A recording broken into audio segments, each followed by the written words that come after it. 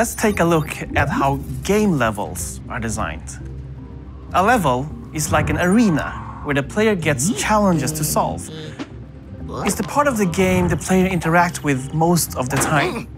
And most games have a lot of levels to solve. So what are we looking for when designing a level? Well, the player should understand what needs to be done when the level starts and know where the goal is.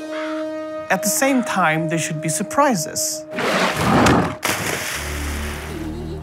Building a level is like setting the stage or construction of a building. It all starts with the blueprints. The player should have options, different ways to solve the puzzle, to try to beat the level. The players should feel they can always improve and master the game. It's important that the levels give players enough challenge and become harder as the player improves, and that there is variation in the levels. A level has to be both challenging and rewarding at the same time. So we need a good mix of difficulty and places where the player experiences a success. And of course, there needs to be an ending, a victory.